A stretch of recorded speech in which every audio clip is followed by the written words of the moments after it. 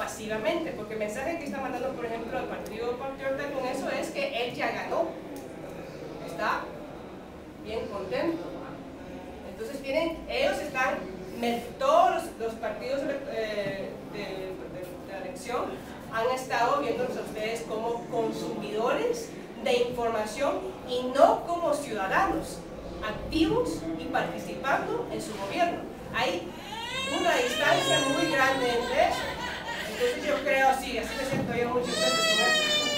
Eh, entonces es muy importante que ustedes vayan viendo con el trabajo que están haciendo en CELMO y con lo que estamos haciendo nosotros, como los del Internet y el uso del Internet y espacios en el Internet, es que vayan usando estas herramientas para ser ciudadanos activos en formando sus espacios de ciudadanía. Porque sí ahora existe la posibilidad, de, por ejemplo, si CELMO quiere comenzar a, estar en vivo por 16 horas y si, aunque no tenga una frecuencia que le está dando el gobierno, él puede.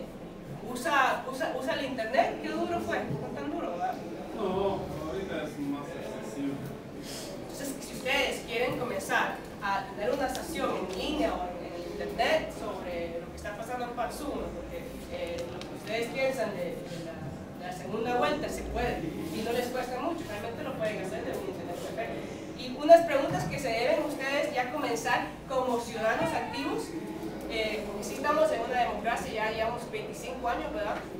Ese es el cambio que hemos hecho, que ya tenemos que participar en nuestra democracia, es ir viendo cosas como ahí preguntándose cosas como, si me están haciendo estos rótulos, ¿quién piensan que soy yo? ¿Quién está mirando estos rótulos? ¿Quién está poniendo estos rótulos?